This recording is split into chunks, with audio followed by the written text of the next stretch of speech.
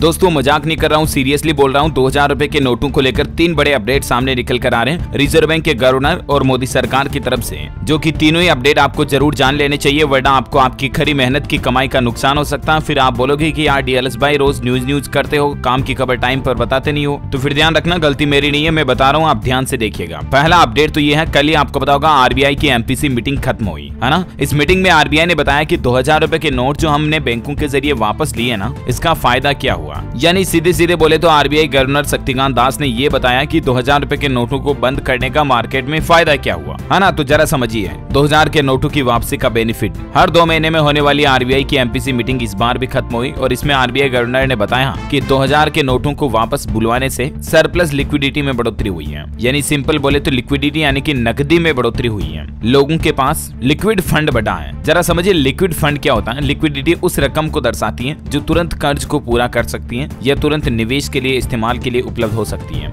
सीधे शब्दों में बोले तो आपकी जेब में अभी कितने रुपए पड़े हैं? ये उपलब्ध नगद के स्तर को दर्शाता आपके बैंक खाते में या जेब में कितने पैसे पड़े ऐसा। तो लिक्विडिटी बढ़ने से सरकारी खर्च और कैपिटल इनफ्लो में सुधार होता है, ठीक है ना? तो पहला अपडेट तो ये दो हज़ार के नोटों को लेकर दूसरा एक और इम्पोर्टेंट अपडेट है, और वो मैं आपको बताऊँ, लेकिन इससे पहले आपको अभी तक के आंकड़ों को समझना होगा। अभी तक दोस्तों दो हज़ार के लगभग अट्ठासी प्रतिशत नोट बैंकिंग सिस्टम में वापस लौट गए हैं। आरबीआई ने कहा कि अब भी मार्केट में बयालीस हज़ार करोड़ रुपए के नोट मतलब इतने मूल्य के नोट जो है, वो चलन में है, क्योंकि अट्ठासी प्रतिशत दो हज़ार के नोट तो बैंकों में लौट चुके हैं, लेकिन बारह प्रतिशत नोट या तो किसी के पास काले धन के रूप में, रकम के रूप में जमा है, या मार्केट में अभी भी चलन में है। और 12 प्रतिशत कोई छोटा मोटा आंकड़ा होता नहीं है, आपको भी बताया और आरबीआई के आंकड़ों के मुताबिक 88 प्रतिशत को अगर अपन वैल्यूएशन के हिसाब से देखें तो तीन लाख चौदह हज़ार करोड़ रुपए के नोट जो है, वो बैंकों में अभी तक वापस लौट आए हैं। ठीक है, और forty two thousand crore rupees अभी भी मार्केट में चलन में है, ठीक है? आंकड़ा तो ये कहता अब इसका मतलब क्या हुआ? मतलब यही हुआ की अभी भी बारह प्रतिशत नोट बैंकों में लौटने बाकी है ना? और आपको लग रहा होगा की यार लास्ट डेट तो तीस सितंबर तक है, तब तक आराम से जमा करा देंगे कोई दिक्कत ही नहीं है। अभी तो आराम से एक डेढ़ महीना पड़ा है। क्यों इतनी जल्दबाजी करें क्या दिक्कत है ना? लेकिन मैं आपको बता दूँ, असल में ऐसा है नहीं है। आपके पास मात्र कुछ ही दिन बचे हैं दो हज़ार रूपए के नोटों को बैंक में जाकर बदलवाने के लिए। वो कैसे? जरा समझिए इस गणित को। क्योंकि अभी अगस्त का महीना चल रहा है और सितंबर के महीने में भी बैंकों की काफ़ी लंबी छुट्टियाँ आने वाली है। दो हज़ार का नोट बदलने का आपके पास सिर्फ़ अंतिम मौका है। अब कई लोगों के पास, जैसे मैंने बताया ना, बारह प्रतिशत नोट पेंडिंग है। कई लोगों के पास जेब में पड़े, एक नोट, दो नोट पड़ा। वो आलसी है, वो सोचते हैं, अभी काफ़ी टाइम है, एक डेढ़ महीना पड़ा, तब तक जाकर बदलवा लेंगे, क्या दिक्कत है? लेकिन यही तो दिक्कत है, दो हज़ार रूपए के नोटों को डिपॉजिट करने की डेडलाइन से पहले आप बैंक हॉलीडेज की लिस्ट पर भी नज़र डाल लीजिए जरा। अभी अगस्त के महीने में चौदह दिन का अवकाश रहने वाला है, क्योंकि रक्षाबंधन वगैरह काफ़ी त्योहार भी है, पंद्रह अगस्त, श्री गुरु नारायण जयंती वगैरह वगैरह, ठीक है? और फिर सितंबर में भी बैंक हॉलीडे काफ़ी ज़्यादा रहेंगे, लगभग अलग अलग राज्यों में कुल सत्रह बैंक हॉलीडे रहेंगे, अवकाश रहेंगे। अब तीस दिनों में सिर्फ़ तेरह ही दिन सितंबर में बैंक ओपन रहेंगे, तेरह दिन तो ये मिले। और मान लीजिए आपको दस दिन भी अगर अगस्त में अब और मिलते हैं बैंक के तो कितने हुए